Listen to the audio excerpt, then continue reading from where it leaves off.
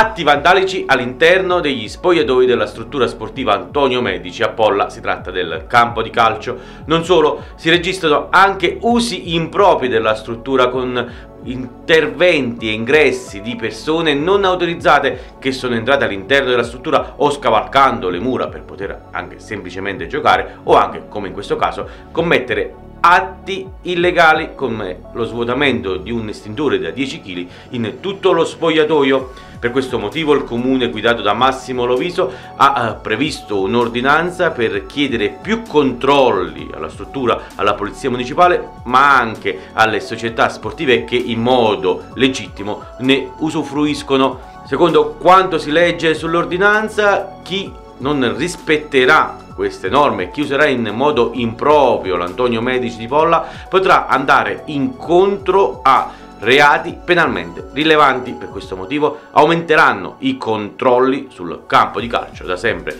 considerato un gioiellino sportivo per Polla.